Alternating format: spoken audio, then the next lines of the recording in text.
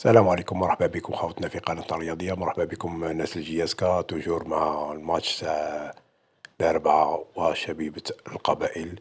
الشبيبة اليوم الشوط الأول كان كارثة منه من تقريبا هدفين أو ثلاث أهداف اليوم دوخة هو اللي منها الشبيبة هذا ملخص تاع الشوط ست دقائق الأخيرة فقط. لاحظوا أنه الشبيبة رجعت مع الآخر وخرجت من القوقعة تاعها هاذيك لأنه الله دي بال بزاف ضاعت اليوم. من شبيبة لاحظوا ست دقائق الأخرى هادي وين شبيبة وين فطنت يعني صراحة المهم لايك يا جماعة حتى هذا ست دقائق فقط.